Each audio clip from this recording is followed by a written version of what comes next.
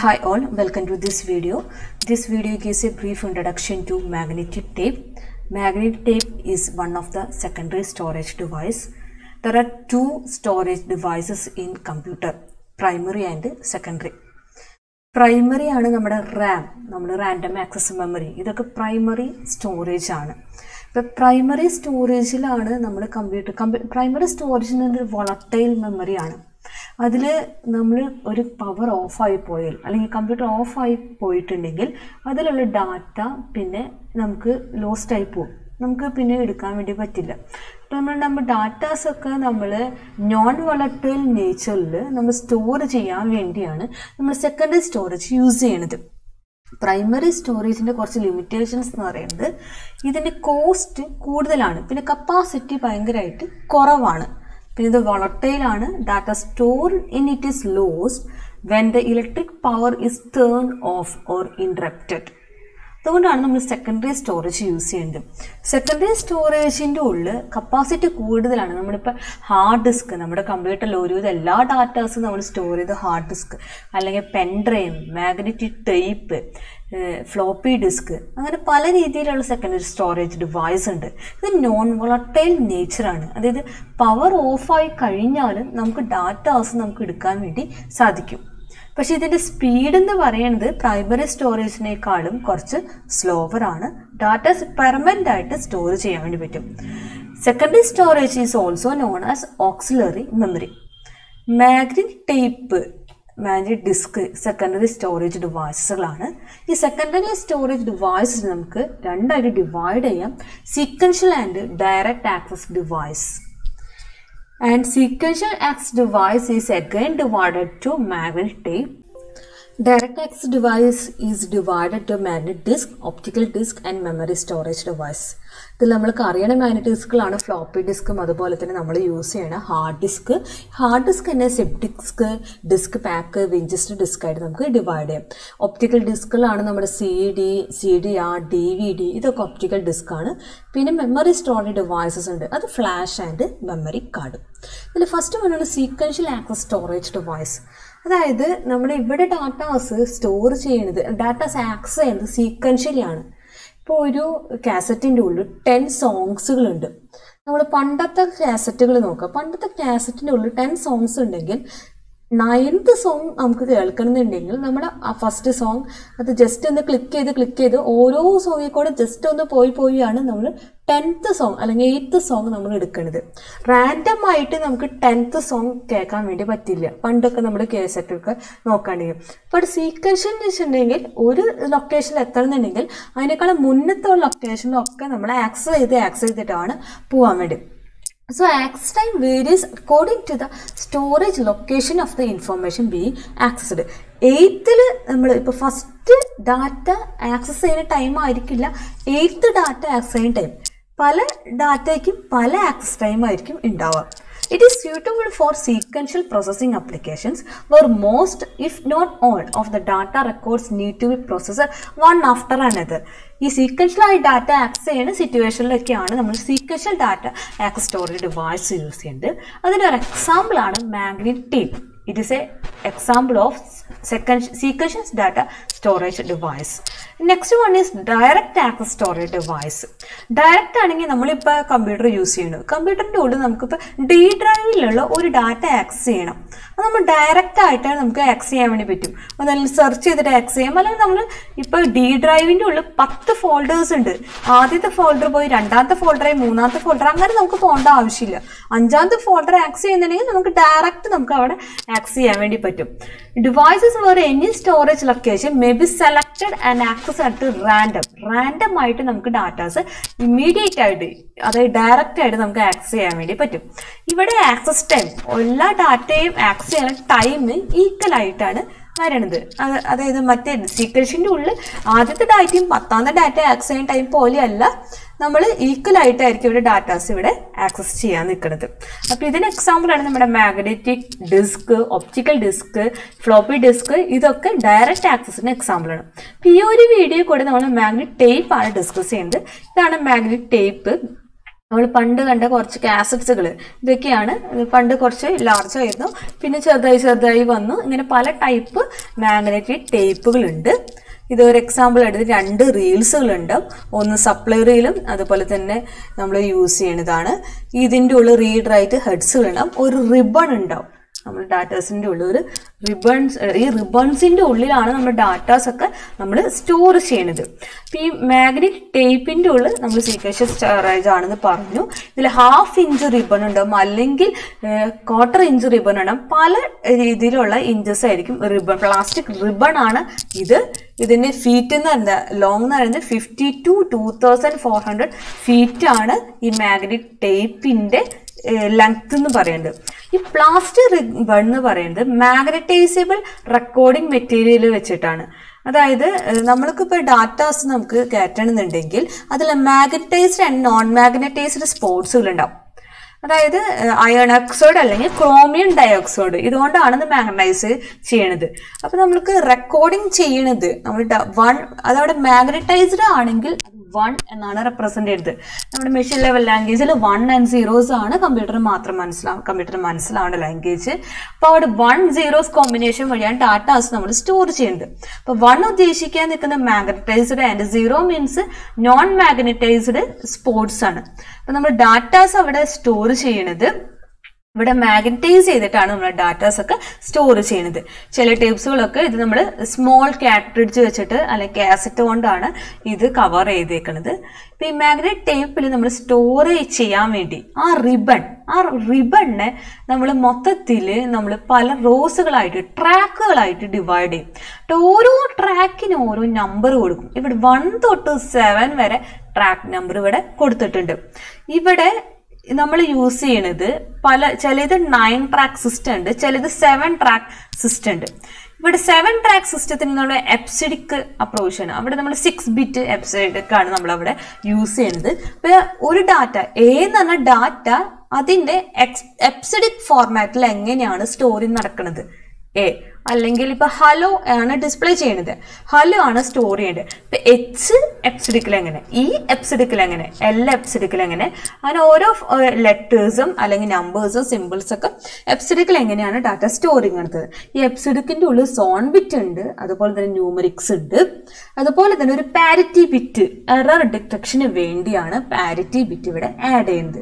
ഇപ്പോൾ raw voice നമ്മൾ split ചെയ്യും അതിനെ പറയുന്ന track column wise. Column wise നമ്മൾ ഇതാക്കേണ്ടതാണ് ഫ്രെയിം. ഇപ്പൊ ഇതാണ് നമ്മൾ ഒരു ഫ്രെയിം. ഇപ്പൊ ഒരു ലെറ്റർ സ്റ്റോർ ചെയ്യുന്നുണ്ടെങ്കിൽ നമ്മുടെ കറസ്പോണ്ടിങ് ഫ്രെയിം ഇത്. ഇപ്പൊ nine A B C D E F G. ഇങ്ങനെ നമ്മൾ ഫ്രെയിമുകളായിട്ട് നമ്മൾ തിരിച്ചിട്ടുണ്ട്. ഇപ്പൊ നമുക്ക് നയൻ ആണ് ഇതിന്റെ ഉള്ള സ്റ്റോറി നടക്കണമെങ്കിൽ അതിന് കറസ്പോണ്ടിങ് ഇവിടെ ഒരു ലൈൻ വരച്ചിട്ടുണ്ട്. ഈ ലൈൻ ഉദ്ദേശിക്കാൻ നിൽക്കുന്നത് അവിടെ ഡാറ്റ വൺ സ്റ്റോർ ചെയ്യുന്നുണ്ട്. ഈ വൺ സീറോ വൺ വൺ വരുമ്പോൾ അതിന് കറസ്പോണ്ടിങ് ഒരു ഡാറ്റ ഉണ്ടാവും. അപ്പൊ ഇവിടെ ഉദ്ദേശിക്കുന്നത് വൺ വൺ പിന്നെ വൺ സീറോ സീറോ സീറോ അങ്ങനെയാണ് ഡാറ്റ ഇവിടെ parity bit even parity mechanism ആണ് യൂസ് ചെയ്യുന്നത്.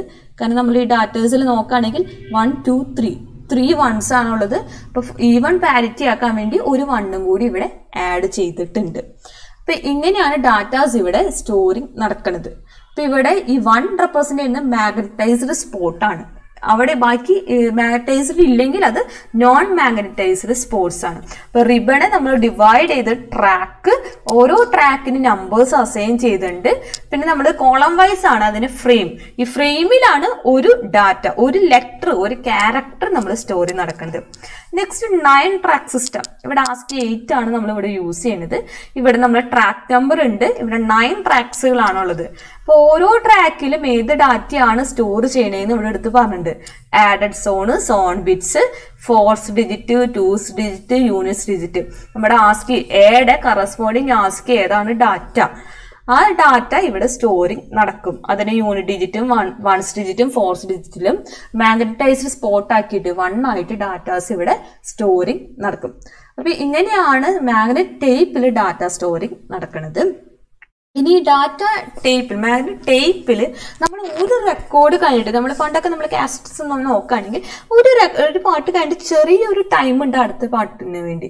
അപ്പോൾ ഓരോ റെക്കോർഡിന്റെ ഇടയിൽ ചില ഒരു ഗ്യാപ്പ് വയ്ക്കും. ബ്ലോക്ക് ഗ്യാപ്പ് എന്നാണ് അതിന് പറയുക അപ്പം ചില ഡാറ്റയിൽ ഒരു റെക്കോർഡ് കഴിഞ്ഞിട്ട് ഒരു ഗ്യാപ്പ് പിന്നെ അടുത്ത ഗ്യാപ്പ് റെക്കോർഡ് പിന്നെ അടുത്ത ഗ്യാപ്പ് പിന്നെ അടുത്ത റെക്കോർഡ് പിന്നെ ഗ്യാപ്പ് അങ്ങനെയാണ് പോവാറ്. അപ്പൊ ഇങ്ങനെ റെക്കോർഡ് ചെയ്യുന്നതിനേക്കാളും കൂടുതൽ നമ്മൾ ചിലപ്പോൾ ബ്ലോക്ക് ഗ്യാപ്പിന് കൂടി വരും ബ്ലോക്ക് ഗ്യാപ്പിനായിട്ട് നമ്മൾ ടേപ്പിൽ കുറെ സ്പേസ് പോകേണ്ടി വരും. അപ്പൊ രണ്ട് റെക്കോർഡ് കൂടെ ഒരുമിച്ച് ആക്കിയിട്ട് പിന്നെ ടേപ്പ് ഉണ്ടാക്കിയപ്പോൾ ഉണ്ടാക്കി അതായത് ചില ടേപ്പുകൾ ഒരു ബ്ലോക്ക് ഗ്യാപ്പ് പിന്നെ രണ്ട് റെക്കോർഡ് സ്റ്റോറിയും പിന്നെ ഒരു ബ്ലോക്ക് ഗ്യാപ്പ് പിന്നെ രണ്ട് റെക്കോർഡ് അങ്ങനെയായി അതുപോലെ തന്നെ മൂന്ന് റെക്കോർഡ് സ്റ്റോറി പിന്നെ ഒരു ഗ്യാപ്പ് അങ്ങനെ സ്റ്റോറിങ് നടത്തുന്നുണ്ട്. ഇപ്പൊ നമ്മൾ ഈ ബ്ലോക്കുകളൊക്കെ റെക്കോർഡുകൾ ഒരുമിച്ച് ഒരു ഇപ്പൊ ഒരു ബ്ലോക്ക് ഗ്യാപ്പ് വെച്ചു കുറേ റെക്കോർഡുകൾ ഒരുമിച്ച് ബ്ലോക്ക് ചെയ്തു. പിന്നെ ഒരു ഗ്യാപ്പ് ഒരു ഡാറ്റ ഒരു ഗ്യാപ്പ് വെച്ചു. അത് കഴിഞ്ഞിട്ട് ഒരു പത്ത് റെക്കോർഡ് ഡാറ്റ സ്റ്റോർ ചെയ്തു. പിന്നെ ഒരു ഗ്യാപ്പ് പിന്നെ പത്ത് ഡാറ്റ അങ്ങനെ സ്റ്റോർ നടക്കുന്നുണ്ട്. അപ്പം ഇങ്ങനെ നമ്മൾ മാഗ്നറ്റ് ടേപ്പിന്റെ സ്റ്റോറേജ് ഓർഗനൈസേഷൻ ഇനി മാഗ്നറ്റ് ടേപ്പിൽ സ്റ്റോറേജ് കപ്പാസിറ്റി എന്താണ്? ടേപ്പിന്റെ സ്റ്റോറേജ് കപ്പാസിറ്റി കാൽക്കുലേറ്റ് ചെയ്യുന്നത് data record density into length അതായത് ആ റിബണിന്റെ length into data recording density ഈ data recording density is amount of data that can be stored on a given length of tape അതായത് ഒരു ഇഞ്ചിന്റെ ഉള്ളിൽ എന്തോരം ഡാറ്റാസ് സ്റ്റോർ ചെയ്യാൻ പറ്റും? അതിനെ പറയുന്നതാണ് ഡെൻസിറ്റി അത് നമ്മൾ മെഷർ ചെയ്യേണ്ടത് ബൈറ്റ്സ് പെർ ഇഞ്ച് ആണ്. ഒരു ഇഞ്ചിന്റെ ഉള്ളിൽ എന്തോരം ഡാറ്റാസ് സ്റ്റോർ ചെയ്യാൻ പറ്റും?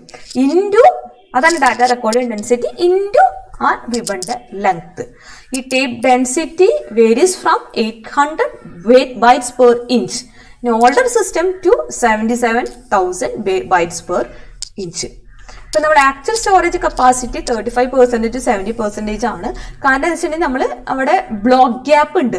അപ്പൊ ഫുൾ സ്പേസിൽ ഫുൾ ഇതിൽ നമുക്ക് ഡാറ്റ സ്റ്റോർ ചെയ്യാൻ പറ്റില്ല. ചെറിയൊരു ഗ്യാപ്പ് ഉണ്ട്. അപ്പൊ ഇത്രയും പെർസെന്റേജ് ഡാറ്റ നമുക്ക് സ്റ്റോർ ചെയ്യാൻ വേണ്ടി പറ്റുള്ളൂ. ഇതിന്റെ ഡാറ്റ ട്രാൻസ്ഫർ റേറ്റ് അതായത് ടേപ്പിൽ നിന്ന് കമ്പ്യൂട്ടറിന്റെ പ്രൈമറി മെമ്മറിയിലേക്ക് ഡാറ്റ ട്രാൻസ്ഫർ ചെയ്യണ റേറ്റ് ഈ ഡാറ്റ ട്രാൻസ്ഫർ റേറ്റ് എന്ന് പറയുന്നത് മെഷർ ചെയ്യാൻ നിൽക്കുന്നത് ബൈറ്റ്സ് പെർ സെക്കൻഡ് ആണ്. ഒരു സെക്കൻഡിനുള്ളിൽ എന്തോരം ബൈറ്റ്സ് ഓഫ് ഡാറ്റ ട്രാൻസ്ഫർ ചെയ്യുന്നുണ്ട്? അതാണ് ഡാറ്റ ട്രാൻസ്ഫർ റേറ്റ് ഇത് value depends on the data recording density എന്താ എന്തോരം ഡാറ്റ നമ്മൾ ഇതിന്റെ ഉള്ളിൽ സ്റ്റോർ ചെയ്തിട്ടുണ്ട്. And the speed with which tape travels under the read write head ഒരു ടേപ്പിന്റെ ഉള്ളിൽ രണ്ട് റീഡ് റൈറ്റ് ഹെഡ് ഉണ്ട്. അതായത് റീഡ് ചെയ്യാനും റൈറ്റ് ചെയ്യാൻ വേണ്ടി നമ്മൾ യൂസ് ചെയ്യുന്നത് നോർമലി ടിപ്പിക്കൽ വാല്യൂ എന്ന് പറയുന്നത് seven point seven M B per second ആണ് ഡാറ്റ ട്രാൻസ്ഫർ റേറ്റ് എന്ന് പറയുന്നത്. ഇനി നമ്മൾ ഈ ടേപ്പ് ടേപ്പ് എന്ന് പറയുന്നത് നമ്മൾ റിബൺസ് ഉണ്ടാവും അതുപോലെ റീഡ് റൈറ്റ് ഉണ്ടാവും ഈ ടേപ്പ് നോർമലി നമ്മൾക്ക് ഇപ്പോൾ വർക്ക് ചെയ്യണമെന്നുണ്ടെങ്കിൽ ഡാറ്റാസ് ഒക്കെ റീഡ് റൈറ്റ് ചെയ്യണമെന്നുണ്ടെങ്കിൽ ഒരു ടേപ്പ് ഡ്രൈവ് ഉണ്ട്. നമ്മളിപ്പോൾ സി ഡി ഡ്രൈവ് നമ്മുടെ ഈ സി ഡി നമ്മൾ ഡ്രൈവിലിടും എന്നിട്ടാണ് നമ്മൾ ആ ഡാറ്റാസ് ഒക്കെ നമ്മൾ റൈറ്റ് ചെയ്യുന്നത്. അതുപോലെ ഫ്ലോപ്പി ഡിസ്ക് ഡ്രൈവ് അതുപോലെ തന്നെ മാന ടേപ്പിനും ഒരു ടേപ്പ് ഡ്രൈവ് ഉണ്ട്. അവിടെയാണ് it is used for writing a reading of data to from a മാൻഡ് tape ribbon datas നമ്മൾ റീഡ് റൈറ്റ് ചെയ്യാൻ വേണ്ടിയാണ് നമ്മൾ ടേപ്പ് ഡ്രൈവ് നമ്മളിവിടെ നോർമലി യൂസ് ചെയ്യാൻ നിൽക്കുന്നത്. പല ടൈപ്പ് മാനി ടേപ്സുകൾ ഉണ്ട് അപ്പോൾ പല രീതിയിലായിരിക്കും ടേപ്പ് ഡ്രൈവ് എസ്റ്റാബ്ലിഷ് ചെയ്തേക്കുന്നത്. ഇത് നമ്മൾ ടേപ്പ് ഡ്രൈവിൽ നമ്മൾ ടേപ്പിൽ നമുക്ക് ഓഫ്ലൈൻ ആയിട്ട് നമുക്ക് ഡാറ്റാസ് നമുക്ക് സ്റ്റോർ ചെയ്യും. ഓൺലൈൻ തന്നെയല്ല ഓഫ്ലൈൻ ഡാറ്റ സ്റ്റോറിങ് മെക്കാനിസം ഉണ്ട്. പല ടൈപ്പ് മാഗ്നറ്റ് ടേപ്സ് ഉണ്ട്. Half inch tape reel half inch tape cartridge quarter inch streamer tape and 4 mm digital audio tape. So first one is half inch tape. Half inch tape വെച്ചിട്ടുണ്ടെങ്കിൽ ആ ടേപ്പിന്റെ റിബണിന്റെ size അതായത് width എന്ന് പറയാൻ നിൽക്കുന്നത് half inch ആണ്. ഇവിടെ parallel representation ആണ് data storing നടക്കുന്നത്. ഇതിൽ പല ട്രാക്കുകളുണ്ട് നമുക്ക് പാരലി നമുക്ക് ഡാറ്റ സ്റ്റോറിങ് നടക്കാം. ഒരു ഡാറ്റ ചെയ്യുമ്പോൾ തന്നെ അടുത്ത ഡാറ്റയും നമുക്ക് സ്റ്റോർ ചെയ്യാൻ വേണ്ടി പറ്റും. ഇതിന്റെ ഉള്ള എ ഡാറ്റ എ സ്റ്റോർ ചെയ്തു ബി സ്റ്റോർ ചെയ്തു. ഒരുമിച്ച് നമുക്ക് ഡാറ്റാസ് നമുക്ക് സ്റ്റോർ ചെയ്ത് സ്റ്റോർ ചെയ്ത് നമുക്ക് ഇവിടെ പോവാണ് പറ്റും. ഇവിടെ റീഡ് റൈറ്റ് ഹെഡ് അസംബ്ലീസ് കുറച്ച് റീഡ് റൈറ്റ് ഹെഡ് ഇവിടെ യൂസ് ചെയ്യുന്നുണ്ട്. പിന്നെ ഒരു എക്സാമ്പിൾ ആണ് ഇത്. ഇതാണ് half inch tape reel mechanism ഇതിന്റെ ഉള്ളിൽ രണ്ട് റീൽസുകളുണ്ട് ഒന്ന് സപ്ലൈ റീലും പിന്നെ ടേക്കപ്പ് റീലും ഇതാണ് നമ്മുടെ സപ്ലൈ റീൽ ഇതാണ് നമ്മുടെ ടേക്കപ്പ് റീൽ ഇവിടെ റീഡ് റൈറ്റ് ഹെഡുകളും അതുപോലെ തന്നെ ഇവിടെ വാക്കം കോളംസുകളും ഈ വാക്കം കോളംസ് വഴിയാണ് നമ്മൾ ഡാറ്റാസ് ഒക്കെ ഈ റിബൺ ഇതിൽ കൂടെ നമ്മൾ ഡാറ്റാസ് റീഡ് റൈറ്റ് ഫംഗ്ഷൻ നടക്കാൻ വേണ്ടിയാണ് വാക്കം ക്ലബ് ഇതൊക്കെ യൂസ് ചെയ്യാൻ നിൽക്കുന്നത്. അപ്പൊ ഇതാണ് half inch tape reel next വണ്ണാണ് half inch tape cartridges ഇവിടെ ടേപ്പ് റീൽ മാത്രമല്ല ഇതിന്റെ ഉള്ളിൽ ഈ ടേപ്പ് റീൽ ഈ ടേപ്പിനെ നമ്മൾ ഒരു കവർ ചെയ്തേക്കണം. കാട്രിഡ്ജിന്റെ ഉള്ളിൽ നമ്മൾ സീൽ ചെയ്തേക്കണം. ഇപ്പോൾ ഒരു എക്സാമ്പിൾ നോക്കുകയാണെങ്കിൽ ഇവിടെ സപ്ലൈ റീലുണ്ട് ടേപ്പ് റീലുണ്ട് ഇതൊക്കെ കൂടിയിട്ട് നമ്മളൊന്ന് കവർ ചെയ്തേക്കണം സീൽ ചെയ്ത് വെച്ചേക്കാണ്. കാട്രിഡ്ജിന്റെ ഉള്ളിൽ സീൽ ചെയ്ത് വെച്ചേക്കണം. ഇതിന്റെ നോർമലി തേർട്ടി സിക്സ് ട്രാക്സ് ആണുള്ളത് ഇതിന് നമുക്ക് നയൻ ട്രാക്സ് ആയിട്ട് ഡിവൈഡ് ചെയ്തിട്ടുണ്ട്. അപ്പോൾ ഓരോ ഇതിന്റെ ഉള്ളിൽ നമുക്ക് ഈ ഇതിന്റെ ഉള്ളിൽ നാല് ബൈറ്റ് ഡാറ്റ സ്റ്റോർ ചെയ്യാൻ പറ്റും. ആസ്കി നമ്മുടെ നയൻ ട്രാക്ക് സിസ്റ്റത്തിലാണെങ്കിൽ ഒരു ട്രാക്കിന്റെ ഉള്ള ഒരു ഡാറ്റ അടുത്തതിൽ അടുത്ത ഡാറ്റ പിന്നെ അങ്ങനെ നാല് ബൈറ്റ്സ് ഡാറ്റ നമുക്ക് സ്റ്റോർ ചെയ്യാൻ വേണ്ടി ഇതിൽ പറ്റും. ഇവിടെയും പാരലൽ റെപ്രസെന്റേഷൻ തന്നെയാണ് ഇവിടെയും നമ്മളിവിടെ യൂസ് ചെയ്തേക്കുന്നത്. ഇതിന്റെ ഉള്ളിൽ ഈ ടേപ്പിൽ ഫസ്റ്റ് ടോപ്പ് ഹാഫിന്റെ ഉള്ളിൽ റീഡ് റൈറ്റ് ഒരു ഡയറക്ഷനിലാണെങ്കിൽ ഇതിന്റെ ബോട്ടം ഹാഫിന്റെ ഉള്ളിൽ അതായത് നാല് ബൈറ്റ്സ് ഡാറ്റ സ്റ്റോർ ചെയ്യാൻ പറ്റും. ടോപ്പ് പാർട്ടിന്റെ ഉള്ളിൽ ഒരു ഡയറക്ഷനിലാണെങ്കിൽ ബോട്ടം പാർട്ടിന്റെ ഉള്ളിൽ അനദർ ഡയറക്ഷനിലായിരിക്കും സ്റ്റോറിങ് നടക്കുന്നുണ്ടാവുക. നെക്സ്റ്റ് വൺ ആണ് quarter inch streamer tape. Quarter inch streamer ടേപ്പിന്റെ ഉള്ള ഇവിടെ ക്വാർട്ടർ ഇഞ്ചാണ് സൈസ് വരുന്നത്. ഇപ്പൊ ഇതിനൊരു എക്സാമ്പിൾ ഇതാണ് ക്വാർട്ടർ ഇഞ്ച് സ്ട്രീമർ ടേപ്പ് വരുന്നത്. ഇവിടെ സീരിയൽ റെപ്രസെന്റേഷൻ ആണ്. അത് പാരലായിട്ട് ഒരാട്ട സ്റ്റോർ ചെയ്യണതിൽ ഇവിടെ റെപ്രസ് പാരലായി സീരിയൽ റെപ്രസെന്റേഷൻ ആണ് ഒരെണ്ണം കഴിഞ്ഞിട്ട് അടുത്തത്. അങ്ങനെയാണ് ഇതിന്റെ ഉള്ളിൽ വരാൻ നിൽക്കുന്നത്. ഇവിടെ പിന്നെ ഒരു ഇത് മറ്റേതിന്റെ ഉള്ളിൽ ഒരു സ്റ്റാർട്ട് സ്റ്റോപ്പ് ഓപ്പറേഷൻ ഉണ്ട്. ഒരു ഡാറ്റ സ്റ്റോർ ചെയ്തുകൊണ്ട് അടുത്ത് എടുക്കാൻ വേണ്ടി സ്റ്റാർട്ട് സ്റ്റോപ്പ് സ്റ്റാർട്ട് സ്റ്റോപ്പ് ഇവിടെ പക്ഷേ എന്ന് അറിയണത് ഡാറ്റാസ് നമുക്ക് സ്റ്റാർട്ട് സ്റ്റോപ്പ് മെക്കാനിസം ഒരു ഡാറ്റ സ്റ്റോർ ചെയ്ത് കഴിഞ്ഞാൽ അതിന് നമ്മൾ സ്പേസ് കളയേണ്ട ആവശ്യമില്ല. ഡയറക്റ്റ് അടുത്ത ഡാറ്റ സ്റ്റോർ ചെയ്യാൻ പറ്റും. Can read write data more efficiently than the traditional tap tape drives because there is no start stop mechanism അങ്ങനെയുള്ള അതായത് ഒരു ഡാറ്റ റീഡ് ചെയ്ത് കഴിഞ്ഞാൽ അടുത്ത ഡാറ്റ റീഡ് ചെയ്യുന്നതിന് വീണ്ടും സ്റ്റാർട്ട് ചെയ്യേണ്ട ആവശ്യമില്ല. ഒരെണ്ണം നമ്മൾ ഒരെണ്ണം നമ്മൾ സ്റ്റാർട്ട് ചെയ്തു. ഒരെണ്ണം സ്റ്റാർട്ട് ചെയ്ത് കഴിഞ്ഞിട്ടുണ്ടെങ്കിൽ കണ്ടിന്യൂസ് ആയിട്ട് അടുത്തതും പ്ലേ ചെയ്തിട്ട് വരും.